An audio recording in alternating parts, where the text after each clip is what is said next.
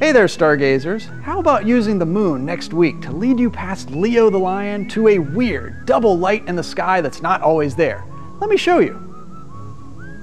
Okay, our skies are set up for Monday, June 6th, an hour after sunset facing southwest.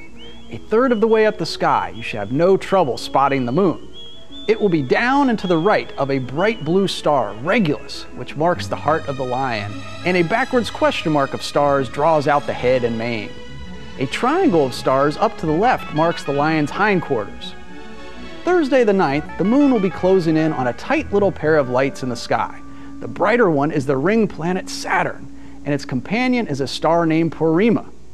The moon will show you Regulus and the lion and then lead you to a pair of lights that are a planet and a star. Keep looking up.